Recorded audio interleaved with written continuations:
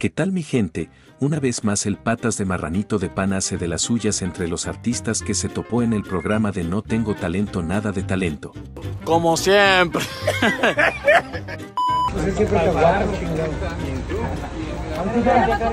Ándale tía Cari apúrate no vaya a ser que se enoje el cara de foca y te aviente la mirada de foca enojada, ¿no ves que tú ya tienes que saber qué hacer antes de que Chepe te lo diga?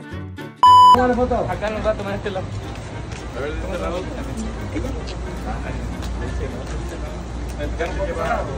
Sí. De este lado. De, de este lado. Uno que se lleve a, mi vieja.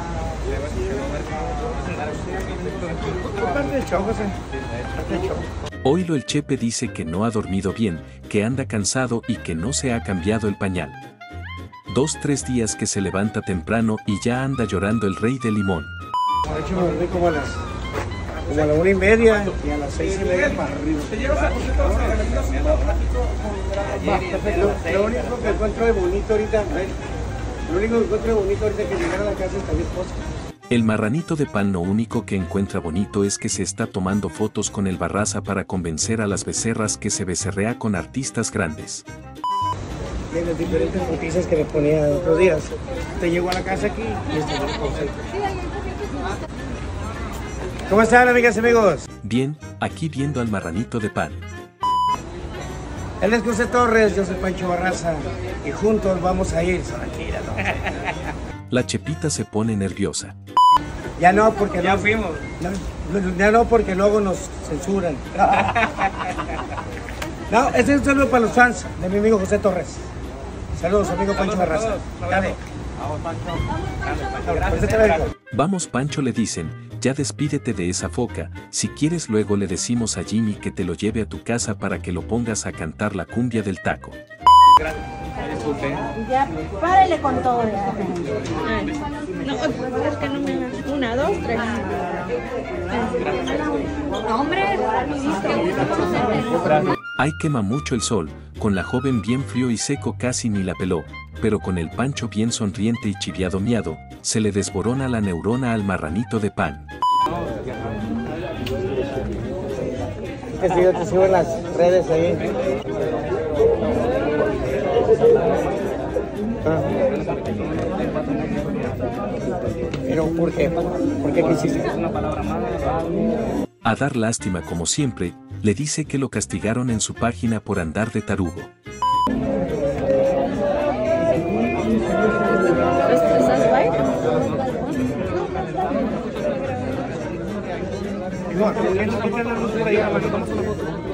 Ándale Cari ponte pilas no se te ocurre echarme a perder mi foto más importante de mi vida mía, es mi sueño cumplido.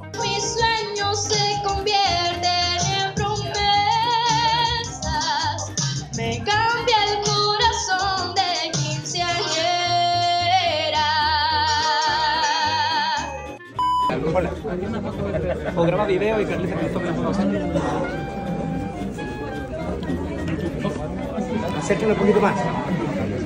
Aquí el Chepe pensando, ay vale estoy muy nervioso, ¿qué le podré decir para que me den su atención? Ya sé, le voy a seguir llorando de mi página dañada.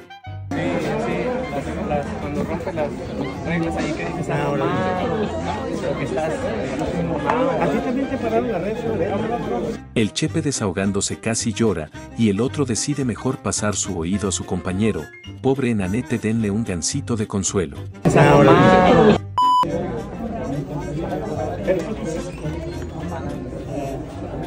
Aquí no se entiende mucho lo que están diciendo, pero se miran muy a gusto ignorando al molcajetín.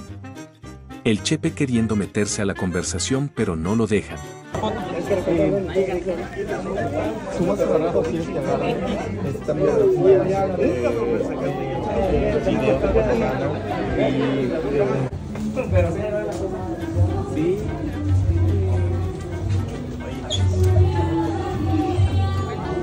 Entra y nadie lo pela, Cari lo nota y decide no enfocarlo, nada burra Cari ya sabe lo que su molcajete quiere.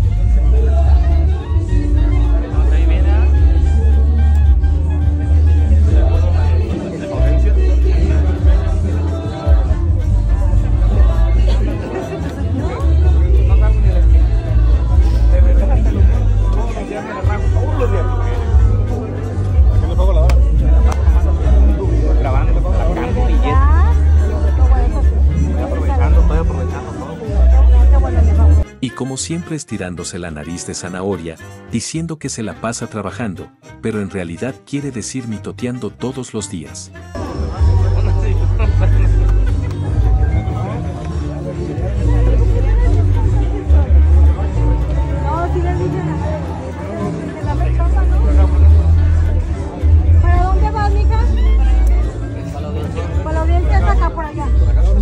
Chepe también debería irse a la audiencia ándele llévense a Erasmo Catarino.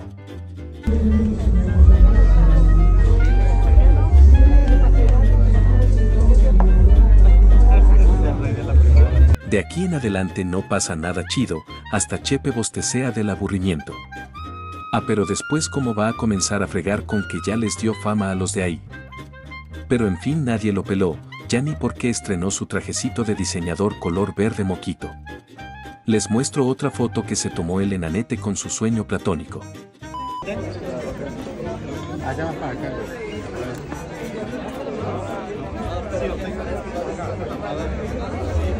Gracias, no pasa nada. Ahorita vamos a que salir de foto.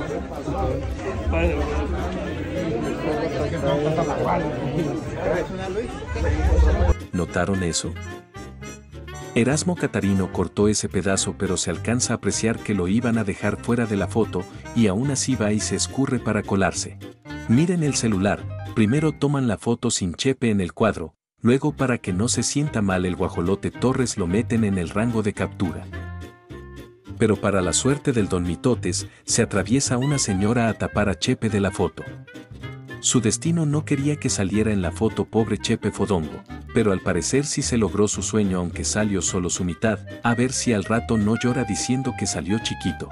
Aquí ya todos felices y contentos, Chepe la pata entre la, digo digo, la cola entre las patas, se agacha y se va. El que se sacó de onda fue el R. Conrique. Miren la mirada que le avienta al Chepe como diciendo, este enanito sí que se pasa de Chepe el señor confianzudo. Pobre Chepe mejor que se quede en su casa en su borlote.